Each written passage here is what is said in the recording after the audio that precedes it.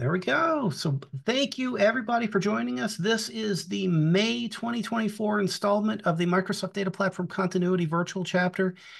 This year has been an absolute whirlwind. And with me today is Andrew Pruski. Uh, he is going to be talking about our snapshots backups. And I've got my own personal opinion on that, but I know you're going to validate it. So with that, I'm going to turn that over to you. Fantastic. Thank you very much, David. Okay, let me share my screen. Does that look good? Everyone can see my screen? Fantastic.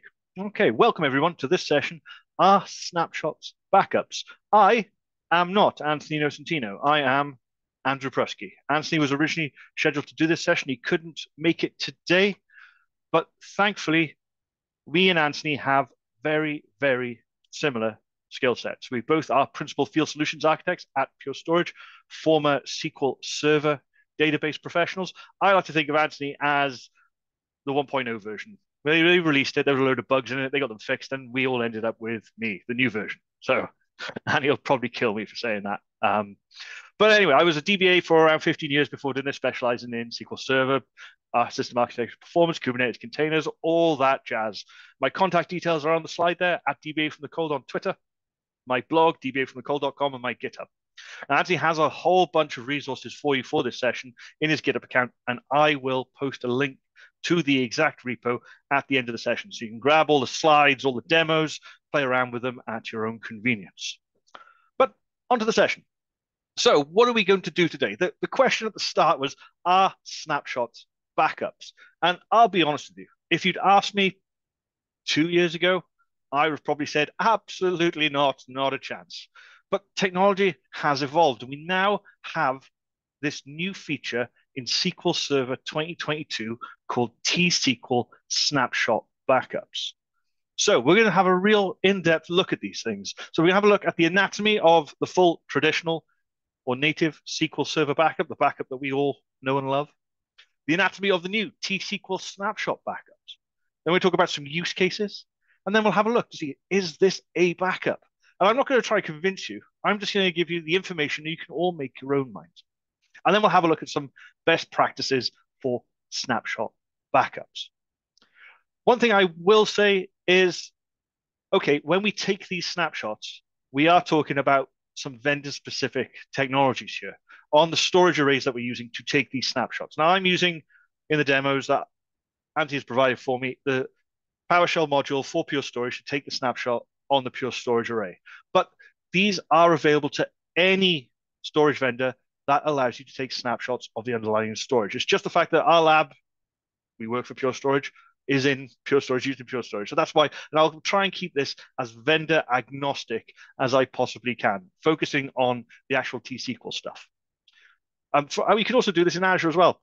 so it's not locked into a vendor. You can do it up in the cloud, anywhere that you can take a snapshot of the underlying storage.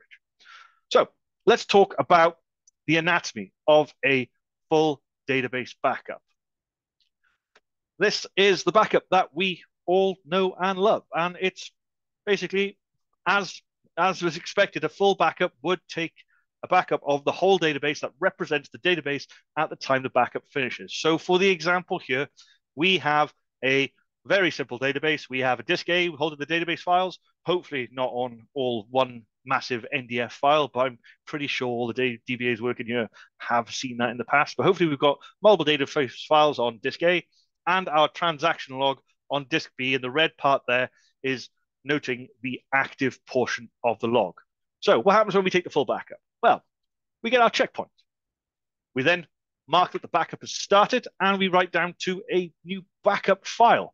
And then all our backup header is created containing metadata of the backup. And then all database files are read sequentially into that backup file. And if you attach a debugger to SQL, you actually see all the database files being read and copied into that backup file. Finally, copy the actual portion of the log into that backup, mark the backup as finished, and update MSDB. Now, there are challenges with this. Databases are not getting any smaller out there. Remember when I first started with SQL Server, terabyte databases were not unheard of, but pretty uncommon. But now we're starting to see databases in terabyte, 10 terabytes, 100 terabytes in size. I actually worked with a customer last week who had a 220 terabyte SQL Server database. Um, they were actually asking about getting that database into Kubernetes. So they had multiple issues going on there. But anyway, these large databases are there, they're out there. And the problem with native full backups is that they are a size of data operation. The bigger your database is, the longer your backup is going to take. And this is going to put pressure on resources on your server, CPU, network, disk, CPU reading through those pages, memory on the server as well, getting into the memory, then before being written to the backup file.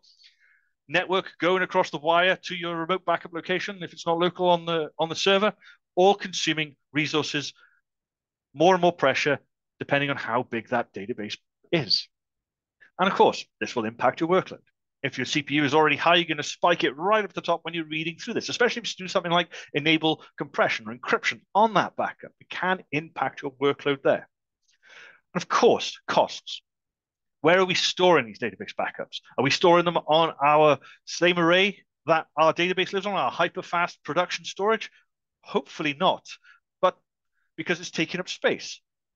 Very costly. We probably want multiple copies of these databases as well, all taking up space, increasing our storage costs. And this really comes into, into its own when you're in the cloud because storage up in the cloud can be really expensive.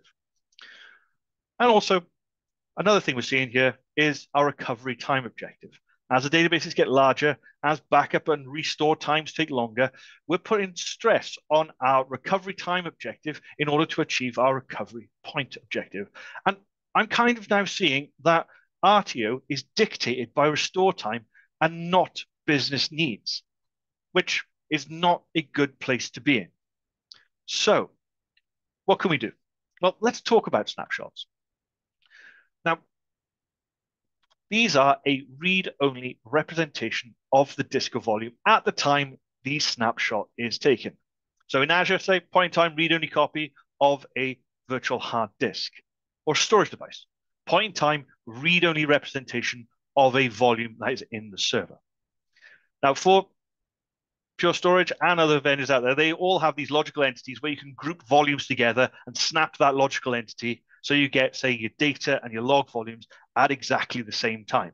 Because if you take a snapshot of your database, uh, data volume and your snapshot of your log volume at different times, and you try and attach them, you're going to get inconsistencies and not be able to attach. But we can use these to revert the database to a previous point in time and pretty much instantaneously as well. Snapshots are not a size of data operation. These are instant. We take a snap of the volumes, pretty much instant. And then when we revert, we can do this instantaneously as well. And this is the key benefit for using this technology, in my opinion, is that we're not affected by how large those databases are. If they're 20 terabytes, 200 terabytes, getting even bigger, doesn't matter. The snap is instant. And also another really cool thing about technology is dedupe technology out there. Multiple storage vendors will dedupe snapshots down. So if you take a snapshot of, say, a 20 terabyte database and have multiple copies of it, those snaps don't actually take any more space on the array. They are deduped down against the original copy of the database, which means you could do some pretty cool things like copy and clone these to provide other access, access to the data. So thinking about shipping them off for test dev pipelines, doing te performance testing about new store procedures that are coming out, or shipping them off to another array. Loads of technology companies out there allow you to replicate these things to another array for, say, DR purposes. Let's get into the mix of it and let's talk about, say, the elephant in the room. The I've used snapshots before and I've been burned by them because I'm pretty sure anyone listening out there going, I used snapshots a while ago and these things didn't work out for me. So let's talk about the different ones that we have, the different types of snapshots that we have available to us. So we have application consistent snapshots, crash consistent snapshots, database snapshots within SQL Server itself, and vendor specific implementation. Okay, we're going to run through them one by one. We'll talk about these application consistent snapshots now. Now, for years, the only way of doing this is with VSS. We're requiring third-party tools to coordinate the snapshot activity with the underlying storage platform. Uh, hands up here, who likes VSS? Uh, not many people, mainly because it's slow to execute and it results in long IO stuns of the database. In order to get an application consistent snapshot, we have to stun, quiesce, freeze IO on that database in order to take that application consistent snapshot. We take the snap and then we thaw IO, allow it to resume. Now, this can cause problems. Now, I've been lucky where I've worked where developers have put retry logic into their application to say, oh, hang on, that database isn't available. I'm going to back off, wait, and then retry. Now, this was actually done for um, AG failovers, but it works for stunning the database as well. The other problem, uh, uh, sorry, so that works with the retry logic, but I've also worked with applications that as soon as the database is unavailable, it just started spamming errors like there was no tomorrow, and we have to go in and reinitialize once the database had come back online. So these long IO stuns can be a real problem when it comes to taking application consistent snapshots. So the other option is crash consistent snapshots. Now, I absolutely love crash consistent snapshots because if you follow write ahead logging like SQL Server does, like Postgres does, you will always get a recoverable DB. Now, crash consistent just means we're not stunning the database at all. We are just snapping the volumes as they are at a point in time in the database, taking them, and then we can present them back to the same server, a different server, attach the database with the syntax of create database, database name with the files with for attach. Bringing the database online, running through its recovery process because write ahead logging is used. So SQL will roll through any commit transactions in the log that are in the data file and roll back any uncommitted transactions that are in the log. And that's a little bit of a problem sometimes. Whereas if you've taken a snap when there has been, say, a long running uncommitted transaction happening, say an index rebuild on a large table, SQL will need to roll that transaction back before it can bring the database online and in a consistent state. What can we do about that? Well, until 2019, not a lot really. Just had to kind of sit there and wait. Um, I once did this with a database where tried to attach it and it had a, a, ETL pipeline running via SSIS for like five days. And guess what happened with that database? It sat there rolling that transaction back for five days. Nothing you could do. But in SQL Server, I think it was 2019, correct me if I'm wrong, we now have accelerated database recovery that can really help with bringing that database online a lot faster. So if you're looking at crash consistent snapshots, 100% look at ADR. Downside of crash consistent snapshots, no point in time recovery. We just get the database files as they are at the point in time the snapshot is taken. So all we can do is attach those database files. We can't actually bring the database up in, say, restoring mode and then apply more transaction logbacks from the top of it. So that's the key difference between application consistent and crash consistent. Application consistent needs to stun, but it allows us to do point in time recovery. Crash consistent, no point in time recovery, no stun, but we can just attach the files as they were. But we have also other options. We have database snapshots. Now, these, I can't remember the last time I actually used database snapshot within SQL Server. It's all built into the instance. There's no portability whatsoever. And we don't really use them because you get performance challenges due to the copy on write when you're running in. So for that thing, I haven't used database snapshots oh, for, for at least 10 years. I, I must admit, I can't remember the last time, but it's definitely over 10 years ago. And then finally, we have vendor specific implementation. We have things like uh, snapshots, VMware, uh, VM snapshots. Um, I again, I don't particularly use these. They can be happy for like deploying templates of servers and things like that. But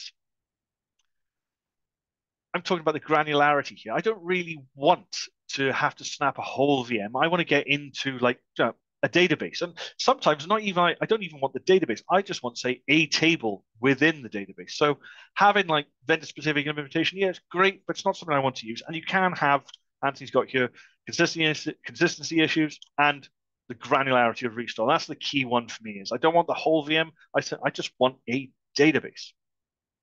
So let's dive into those application consistent snapshots with the new stuff that we have in SQL Server 2022. And that would be the T-SQL snapshot backup. Now, this gives us the ability to create the database with no external tools because SQL Server is aware and in complete control of that IO stun. Don't have to use VSS anymore. We're not going off to any external tools to perform the stun. We're doing it all within SQL Server, which brings the amount of time we're stunning that database down considerably. And of course, we can we can freeze the database, IO, and then we can resume it if something goes wrong with, and we'll have a look at this now with the metadata only back. If something goes wrong like with it, we can unfreeze as well. The snapshot is still done at the storage or service tier. So we freeze IO in SQL, go off to our storage layer, take the snapshot, and then resume IO with what's known as a metadata only backup. And we'll see all the syntax coming up for that in a second. But this unlocks point in time recovery and gives us the ability to do an instantaneous restore for a database, a group of databases, or the entire server. We have those three options available to us, which is the really cool thing about this. Not a size of data operation, no matter how big that database is, this is going to be pretty much an instantaneous backup and a restore because there's no point in being instantaneous for backup if it's going to take hours to do the restore. We'll lose all the benefits of this technology. So it's instantaneous for backup and instantaneous for restore. And we can also do some really cool things outside of just normal traditional backup and restore. We can do things like seeding availability groups and initializing log shipping. I did a project uh, a couple of years ago, no, must have longer than that, probably about four years ago. Time is ticking on, where we did the SQL Server migration from one domain to another in our production environment, and then we had to go and seed our AGs again. Now, some of these servers uh, had 500, 600 databases in these AGs. Uh, pro tip, don't do that. It's a terrible idea. Failover is a nightmare. But this was just legacy stuff that we had to deal with. And the way to seed an AG was either use the automatic seeding option or backup and restore. We used the automatic seeding option. And the automatic seeding option is it works, it's fine. It's just you can't just dump 600 databases into it and expect it to work. It's not going to work that way. We had to do it five databases at a time, seems to be the optimum level, and then monitor it using the DMVs. Took us about two or three days to get all these servers seeded. If we could have used T-SQL snapshot backups to do this, I would have been laughing. I could have done it in a fraction of the time. So it brings, it gives us the ability to set up a high availability solution in a much shorter period of time. The same with log shipping. Log shipping been around in SQL Server since was it 2000, I think. So it's tried, tested, bulletproof technology. Um, one of the rites of passage for new DBAs, is, I remember this is you know you, you don't use the built-in log shipping, you build your own using the backups and PowerShell. The problem with log shipping is once you have it up and running and you want to do a failover test, you bring those databases online after taking your tail log backups, but then you need to reinitialize it all. And that can involve copying backups to your DR location, restoring, restoring logs over them and sending it all back up. Can take time because this is a size of data operation. Snapshots, again, instantaneous. Snap, replicate the database, replicate the snapshot over to your DR site, bring the databases up. Fantastic stuff.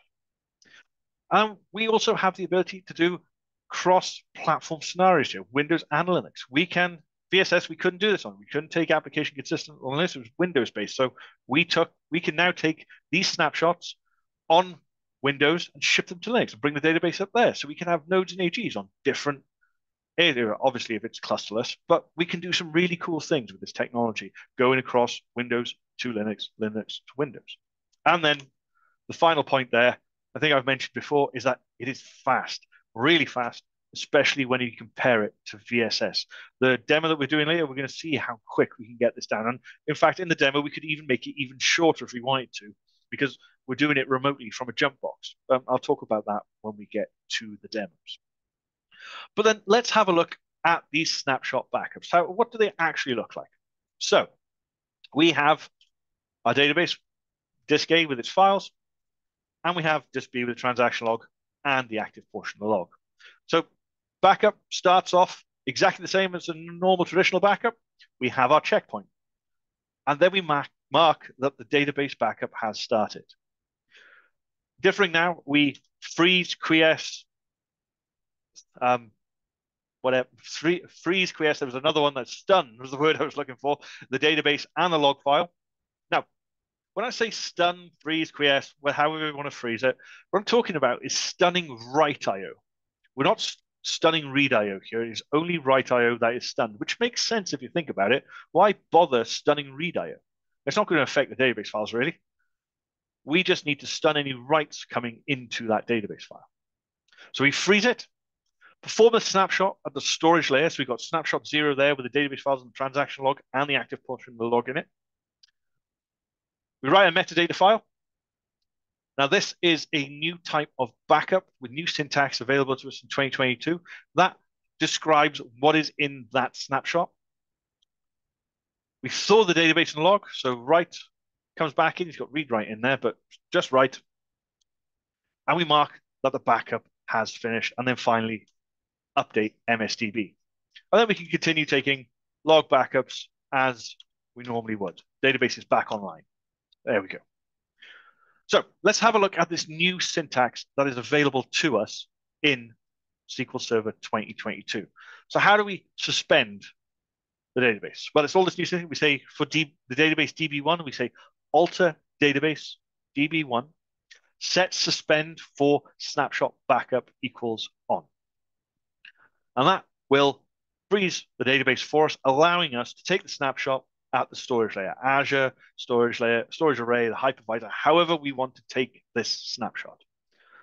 And then we take what's known now as a metadata only backup.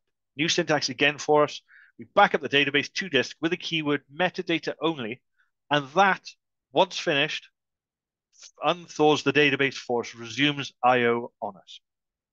And he's got a note here saying that we've a media description optional here. Now, it's not required, but a bit of best practice for you is to drop in the snapshot name and the snapshot location so that it goes into this backup file so we can read from it and find out where the snapshot related to this backup metadata file is located. Now, a few things to mention with this. Copy only is available for T-SQL snapshot backups. And we have the ability to monitor IO stun. We have a new server property called suspended database count, tells the amount of databases at any one time that are suspended for a snapshot backup. And we have a new database property as well called is database suspended for snapshot backup. So we can check to see if that database is currently being frozen for a backup being taken. We can monitor stuff in a DMV, DM server suspend status, and that provides info on database stuns, the session stunning, and the suspend time. And also, when we actually run these things, when we set that suspend for snapshot backup on, we can also switch it off, by the way. If that backup metadata file, uh, if that ba metadata backup, sorry, fails, we can actually, and the only reason it would fail is probably because the location we're trying to back up to doesn't exist. We can actually say set suspend for snapshot backup off. So we've got complete control over that snapshot stun. What's actually happening in the background here when we do this is three, say we're backing up one database, we actually get three locks being taken in the background. We get a shared lock on the master database, and only one of these is taken regardless of however many databases are being stunned, for example, a group or server stun. We get an exclusive lock on the target database, which comes up as bulk or backup freeze if you have a look in sysdm tranlocks. And then we get one shared lock on the target database as well. So for one database, we get three locks for, and then it's one lock on the master, two lock on each database that is being stunned. And you can all monitor that in sysdm tranlocks. So we have complete control over what is happening when we run this process. And it can be monitored quite um, thoroughly as well. Okay, so let's have a look at that backup metadata file. What exactly is that? And as you might expect, it describes what's in the backup. So it pretty much is what would be in a backup header file with a little bit more information in there. Now, you must protect this metadata file, but you do this anyway with your backups. So if you use an enterprise backup, it's the same as protecting your usual SQL Server native traditional backups. Now, it's not the end of the world that if you lose this file, because if you don't have this file, you still have your snapshot. So you can still recover your database from the snapshot. You'll just lose the ability to do a point in time recovery. So if you have this, protect it with the normal way you would your backups, copy it to various different locations. Don't keep it in one say central location, but it's only going to be in say the kilobyte range. So it's a lot easier to move around and make multiple copies of than say a backup of say a 20 terabyte database. And as mentioned before in the previous slide, use the media description to locate your snapshot and name, just so that we don't have to trawl through our storage array looking for snapshots going off, say, date and time. We have the information in our backup metadata file that we can read easily to find our database backup. Snapshot, whatever. okay, I'm getting confused between the terms now, snapshot backup. Okay, right. Now I mentioned that we can do this for one database, we do it for group databases, we can do it for the whole service. So let's have a look what happens when we take a group backup here. And this is where new syntax comes in again. We can say alter server configuration, suspend for snapshot backup on group, and then list the names of databases that we want. So say we have three databases on this server. We have DB1, DB2, and DB3. DB1 and DB2 share the same disks. DB3 is on its own. But say we want to take a snapshot of just DB1 and DB3. So we'll suspend IO on DB1 and DB3 and take that snapshot on the storage array. That snapshot, because DB2 is on the same disks as DB1, will contain the files for DB2. So what does that mean?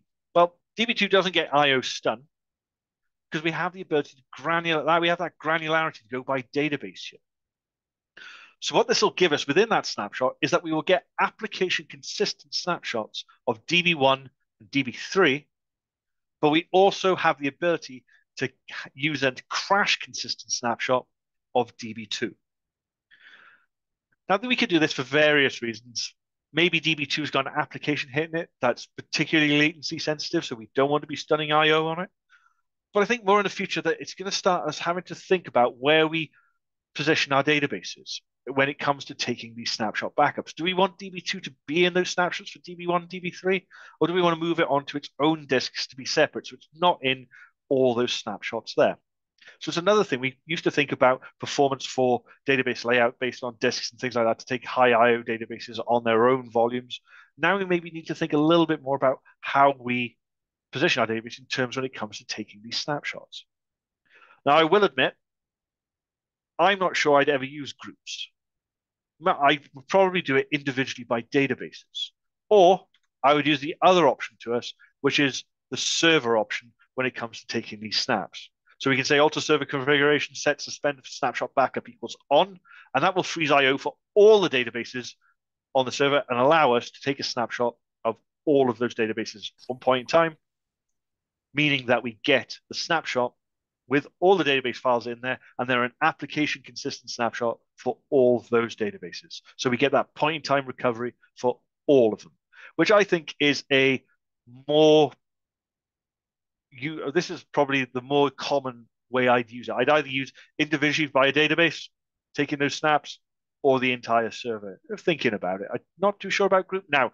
Your mileage may vary. You may have servers out there that yes, absolutely, will take the snapshot of certain databases and remove just one or two that maybe can't be snapped because of that latency issue, or they're just small enough that we just take native backups of anyway. Okay, great. All right, so I've banged on about these backups, but as Paul Randal once said, you don't have a backup strategy. You have, guess what? A restore strategy. So how do we restore these things? Backups are completely pointless if you can't restore them. So say we have our database here, we have it on disk A and disk B. We want to restore this database. So first thing to do is we offline the database. In SQL Server, we take it offline, and then we offline the volumes on the server, getting rid of them completely. We grab our snapshot, a copy, clone, and present the volumes in that snapshot back to the server. Run the restore we bring the database for the data. Sorry, we run the we online the volumes. The database files are on those volumes, and then we run a restore statement with the new syntax metadata only that will bring that database either immediately online or we use the no recovery option to bring it into a restoring state. At that point, we can mark it as restoring and apply more transaction log backups to that database in the restoring state, giving us that point in time recovery. So that's me harping on about these things a little bit. Let's actually have a, a demo and let's see this in action. So let's switch into the demos. Okay, so what we have here is one SQL Server running SQL Server 2022 with one 3.5 terabyte database. And we're going to do this all in PowerShell. So we're going to use dbatools and to take the snapshot, because we're running on Pure Storage, we're going to use the Pure Storage PowerShell module. Other other providers have the similar things. It's just because of the platform we're on. But I'm going to keep focused on the process here, not the individual vendor-specific stuff. So off we go. And the first thing we're going to do is I want to highlight here, we're going to set some variables. Uh, but on line 16, we're going to use the dbatools commandlet connect DBA instance to open up a connection to the SQL instance and then hold that connection open. If I use, say, invoke SQL command to say run the freeze for the database, that would go off, run the freeze, and when the SQL command finishes, it would then close the connection. And SQL, thankfully, is smart enough to go, hang on, that connection closed, it froze the database. I'm going to unfreeze the database so that no lingering freezes will actually remain on the instance. But that's not what we want here. We want to keep that freeze open so we can take our snapshot. So that's why we're using connect DBA instance here to open a connection to the database, run the freeze, keep the connection open so that we can then take our backup metadata only backup, sorry, and that will eventually unfreeze it. So that's why we're using that here. So go back in and three, two, one. We can see we've got our instance here, and we're going to use the FT demo database, which is the 3.5 terabyte instance size.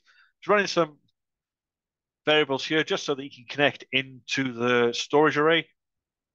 Let's have a look at some information about that database. So we've got the database FT demo here, and yeah, Anthony, you could have put a couple of divided by 1024s in there.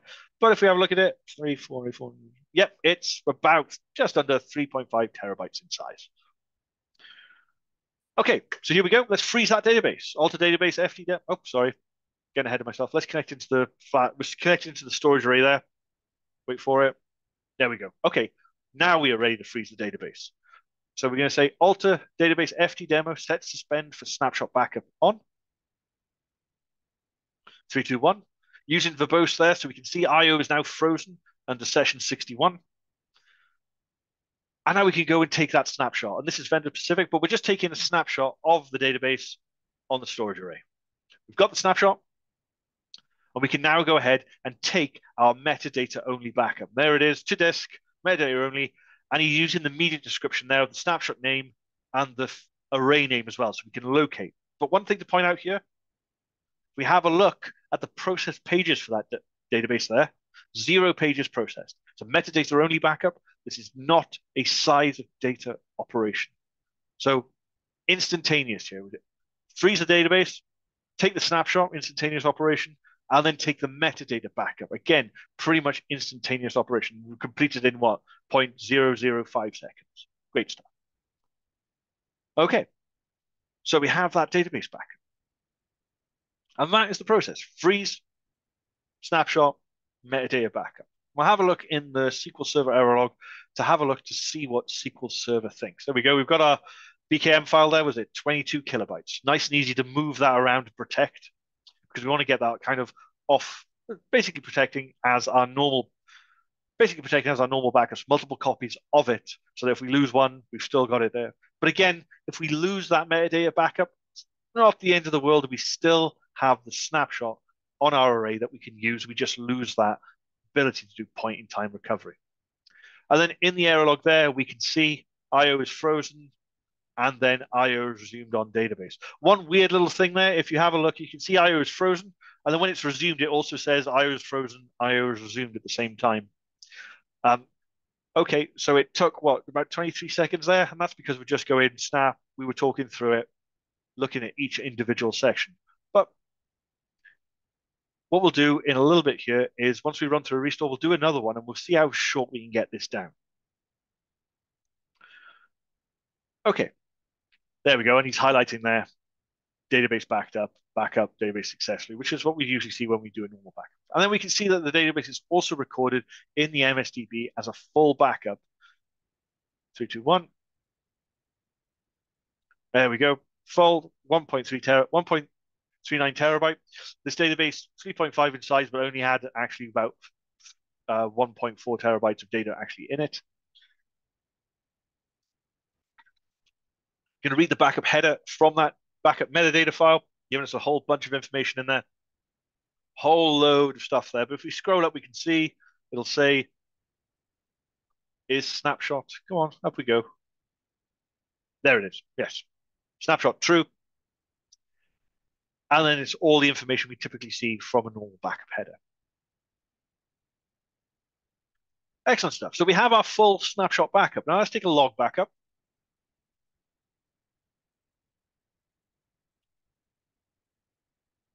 Backing up to a share that servers can see. There we go. We've got our log backup.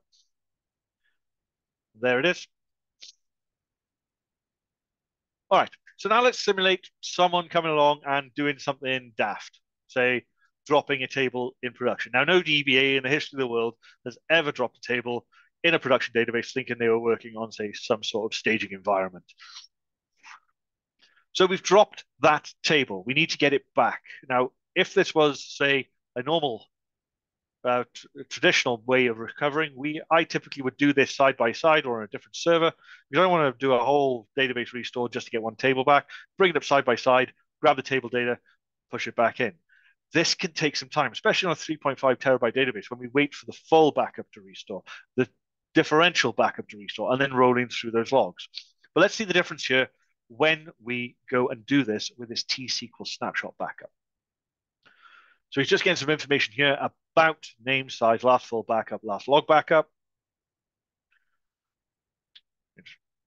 And let's come on, let's go ahead and let's run through this restore process. So as we mentioned, the first thing to do is offline that database. We're going to do, we're going to overwrite the existing one, get rid of it. Take that database offline. There we go and then offline the volume that that database lives on. Now, for simplicity's sake, he's done this all database data and log files on the same volume. Typically, we'd have our databases on multiple data files, uh, sorry, multiple volumes. But for this demo, just for simplicity's sake, everything is on the one volume. And now what he's going to do is retrieve some information from the backup header using that media description to find out the snapshot name and where it is located. So 321, so best practice, so we can read from that backup file where we're located, and that's just the array name and the, and the snapshot name. So what we can do is now plug that into our PowerShell script that will overwrite the volume with that snapshot using those variables. Three, two, one, boom. Again, instantaneous operation here. Online the volume. Next one. And then online the database. And what we're doing is restore database from disk, the backup file with a new keyword again, metadata only, and then replace with no recovery.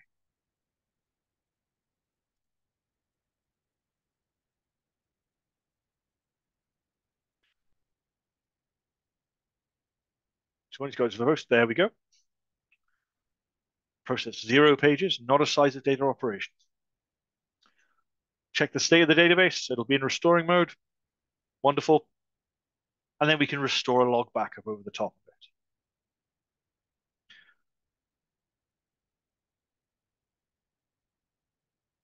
Really loves his dbatools commands. I would have done invoke SQL command. It doesn't. Invoke DBA query at this point. There we go.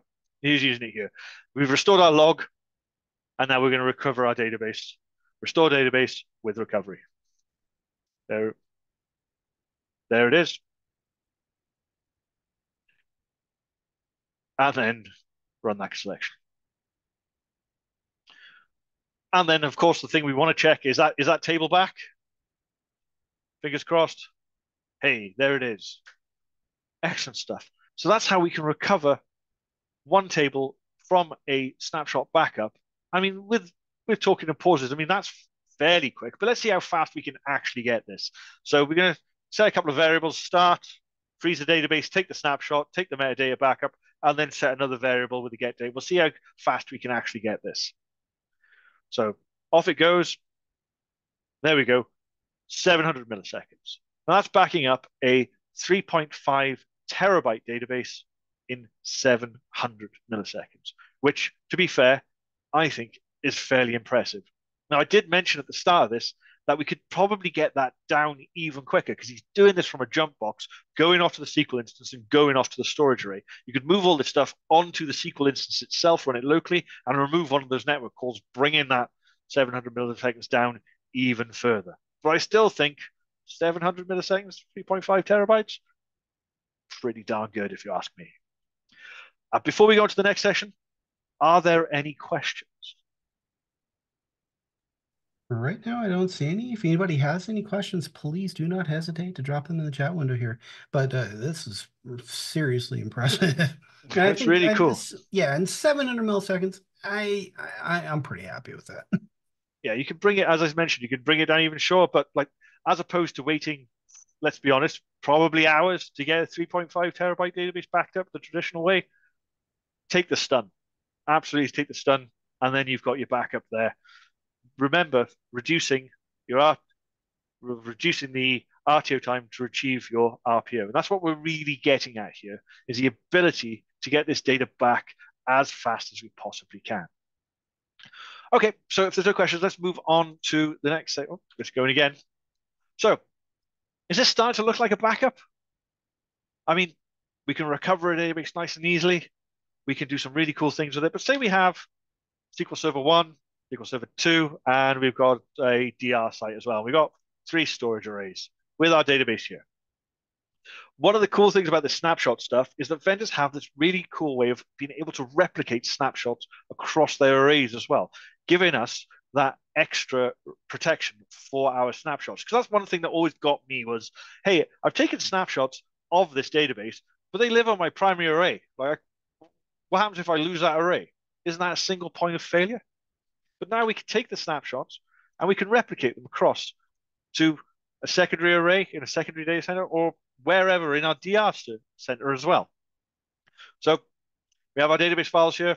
Database files here, we can clone them, mark them as restoring, clone them, mark them as restoring. Is this starting to look like a backup? Is it? What do you think? Now, one thing I do want to point out with these snapshots, and that is snapshot retention. I mentioned, I think I mentioned earlier that snapshots vendors have this really cool dedupe technology these days that will basically zero out these snapshots initially. The snapshot will take no extra space on the array whatsoever because it'll dedupe down. It's basically just a copy of, it's not a copy, sorry. It's probably just metadata pointing at blocks on the array. But what will happen over time, those snapshots will start to take space up. So I honestly would implement snapshot backups with normal SQL Server native backups because sometimes we need to retain our backups longer than probably is feasible to keep them on our primary storage array. And this could be for regulatory purposes. We need to retain data for however long. And that is where these things kind of become a problem because I can't really hold snapshots on my primary storage array, taking up my super fast storage space for, say, years at a time for in for being able to roll back to the last known known point in time, say over a week, maybe even over a month, fantastic stuff. But over like say years, months, no, maybe not so much. So that's just one thing to watch out with these things. But are they starting to look like a backup if we can do this type of stuff with them? Let's move on. Let's have another uh, look at let's have a look at seeding availability group. And let's have another look at that setup that we had there because we were just one step away from sorting an AG out. We have our storage array one. We have our disk A and disk B. We're taking snapshots with our metadata backup. We're replicating over. We're replicating over. We're copying, cloning, bringing the databases up into restoring. We're only missing one thing here, and that is, boom, setting an AG over the top of that array. So, no mucking around let's jump back into a demo and let's have a look at how we can seed an availability group using snapshot backup. So jumping in to slides here, let's press play. We have an AG here, actually I'll talk before we play it. We have two servers here, A and C, with an AG setup. It's a clusterless AG because it's in the lab, and it's looking like it's got uh, warnings there not synchronizing. The reason it's saying not synchronizing is because there are no databases in it. So let's go ahead and see how we can use these things to easily seed an availability group. And again, we're going to use this FT demo. This is a 3.5 terabyte database in size. And we're going to again use dbatools to hold that connection open so that we can take our snap. So we're going to set the primary and secondary servers, connect to both of the instances, and import some credentials just so that we don't have to type out our credentials when we connect into this storage array. Connecting into the array, and this is the primary array. He's got both nodes of this AG on different storage arrays. We're going to freeze that database again. You can see IO is frozen. And then we're going to take that snapshot of the protection group. Sorry, no, we're going to take the snapshot. The protection group is the logical entity we have on, on pure storage. And what he's doing here, just to point out, on line 38 and 39, he's saying take the snapshot of the volumes and then replicate them instantly over to the secondary array where the secondary node is located. So that one node is on one array, one node is on the other array. Okay, so now we're going to take that metadata only backup. Three, two, one. Boom. Again, zero pages processed, not a size of data operation.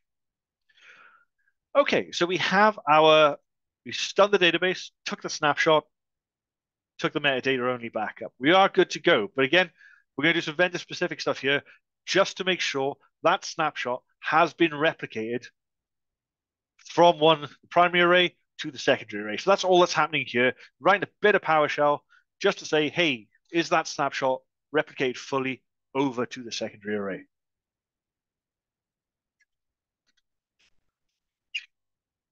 And we'll just wait a little bit.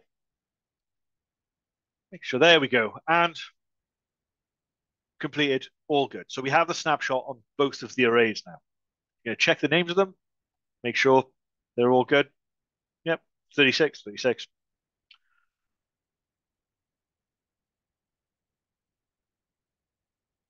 And then, okay, we're going to go through the restore process here.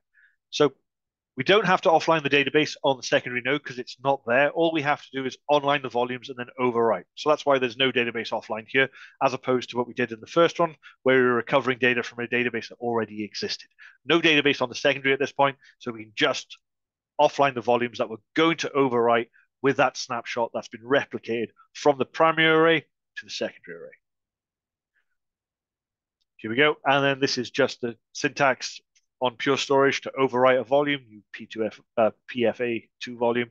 I'll never be able to say that right off the top of my head, no matter how long I work for Pure. Online the volume, and then we're restoring the database from our metadata only backup. Replace, no recovery.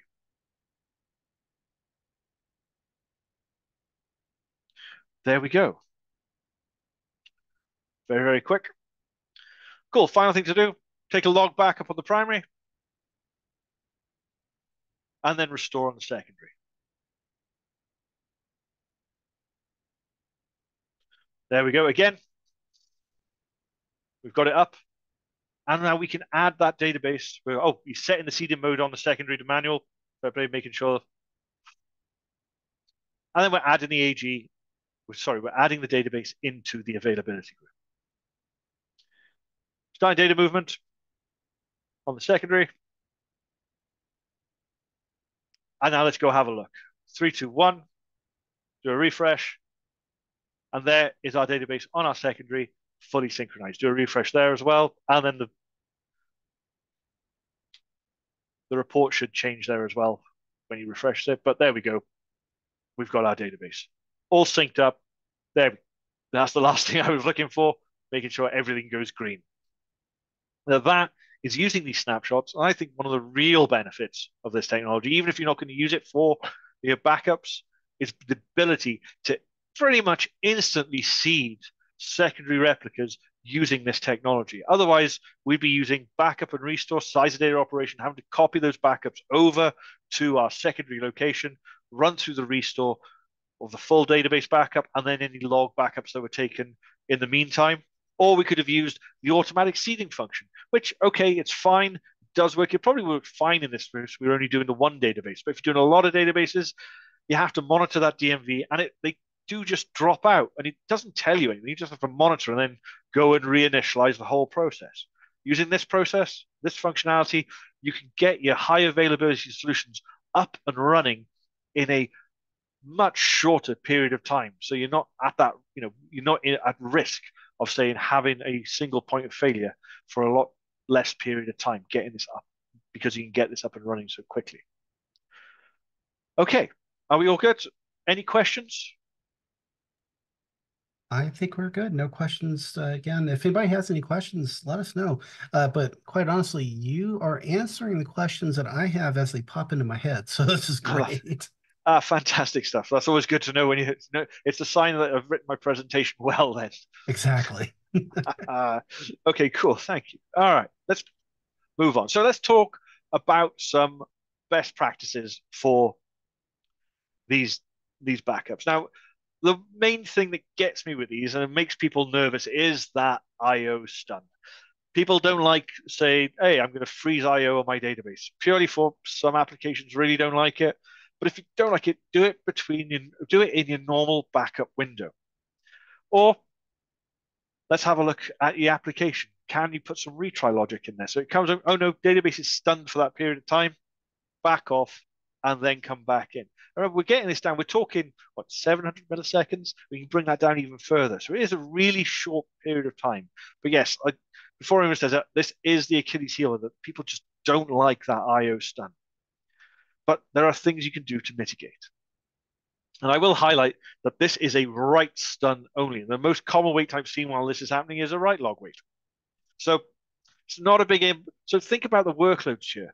Think about massive data warehouses. Typically, the biggest warehouses, we, the biggest databases that we see in SQL Server, these gigantic things that are generally sitting there, having SSIS pipelines hitting them, pumping them full of data, but they're mostly just serving up reports or, um, yeah, basically serving up reports for people to make business analytics decisions. Those are perfect for these types of backups, where it's really read heavy, where you can take that IO stun, take the snapshot backup, and then take your metadata backup. Really, really good for that type of workload. Um, the next one, protect your metadata files. Mentioned this before. Have them protected like you would any other backup file. But again, remember, it's not the end of the world if you lose them. You'll just lose that I, uh, the ability to perform the point in time restore. So, okay, not great, but it's not the end of the world. You still have that snapshot there with your database files in it. Replicate your snapshots to other physical systems, locations, and media types 100%. Because again, when I started using these, like, hang on, I'm taking the snapshot. It's on my primary storage array. What happens if I lose that storage array? Okay, if you talk to if you talk to storage vendors, they'll talk to you about our our arrays of like four nines, five nines, uh, six nines of uptime. It's not going to happen. Still makes me nervous. I'm a DBA. I am planning for the worst, hoping for the best. So replicate those snapshots onto other arrays, get them out of your primary data center anywhere. 100%. Make sure that you haven't got that single point of failure for your snapshots. It's the same as your backup files. Don't just have one copy of them, have multiple copies of them, as much as you can get. And storage vendors these days have a load of cool technology running in the background to easily replicate snapshots to other physical systems. I mentioned with uh, the crash consistent snapshots, uh, use accelerated database data reco database recovery to bring that time down. Say if you have a long running transaction in the snapshot, that'll bring the database online in a far shorter period. I 100% all day will recommend to my customers looking at Pure Storage that they look at crash consistent snapshots because there's no impact on the server on the database whatsoever. It's just snapping in the background. So there's no point not having them set up. Have them running in the background. So if you ever want to use them, they are there. And 100% switch on ADR. Snapshot retention. This is what we talked about. Does equal costs. So I use these in parallel with SQL Server native backups. Have these as your instance database recovery. If you need to go back like a day, a week to get that data back, these are what you should be using. But so you need to retain them for any need to retain the data for any longer period of time. 100% native backups get shipped off somewhere because these things do reside on your primary secondary storage arrays, taking up that space as they get older. So that is just something to watch. Actually, when I did the um, migration project a while ago, we actually used crash consistent snapshots to migrate over. We weren't on 29, 2022, we were on 2019, 2017. We used crash consistence to migrate from one domain to another. And the storage, uh, my uh, storage admins very nicely gave me access to the arrays to be able to take these snapshots. But guess who didn't clean his snapshots up? And after about a month, I got a very, very, I'm going to say, um, curt email, uh, sorry, direct message on Slack from one of the sysadmins who's like, Andrew, can we delete these now? Because they're kind of taking up quite a lot of space on our primary storage array. So yes, just be careful with that. I mentioned when we were talking about, say, the group and the server back uh, options for these T-SQL snapshot backups, the data file layout and storage now becomes a little bit more important. Say we want to snapshot DB1, DB3, but not DB2. We might want to move DB2 off onto its own disk so it's not affected, or it's not just in the snapshot itself. This is only for user databases, not system databases makes sense really. System databases generally aren't that big. We can just run the normal backups for those. Although I have seen, I'm pretty sure everyone else has seen out there, the MSDB database, we don't clean it up, can get into the hundreds of gigabytes in size, so just watch that. And then snapshot only primary AG replicas. And this goes for crash and application consistent. Application consistent, well, you can't actually pause IO on a secondary anyway, but the crash consistent ones as well. People are like, well, don't want to do anything on my primary. I'll do it on the secondary node of my AG replica. The problem is the way writes are written on a secondary are different to a primary. Writes come and get written down to log, things go into the redo queue, which means that the data file and the transaction log can be out of sync at certain points. If you snapshot them at that point and try and bring the database up, it can just fail immediately or the database can come up and be marked as suspect. So only snapshot on primary AG replicas, which you can only do with the new syntax and with crash consistent, who cares? It's not going to affect the database in any way, shape, or form. Just snap primary.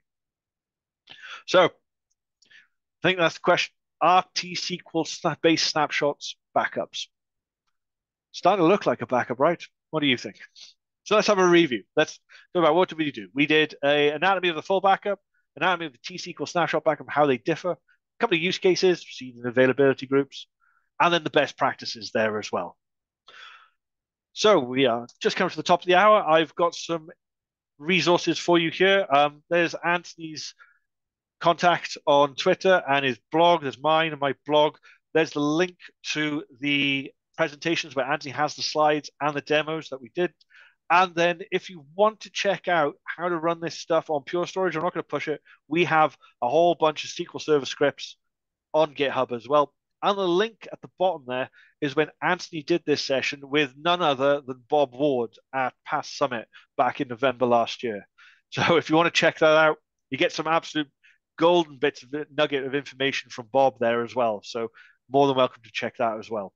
If you have any questions, please go ahead. Yeah, now is the time to ask. Um, I have not seen any in the chat window, but again, you're answering the questions as they pop in my head. Uh, this is amazing.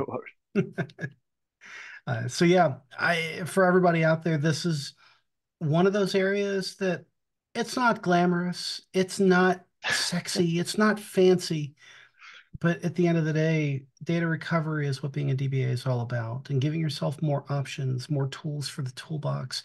This is so unbelievably necessary that if you haven't played this, played with it, please tinker, explore, learn, because you never quite know when you're going to need this.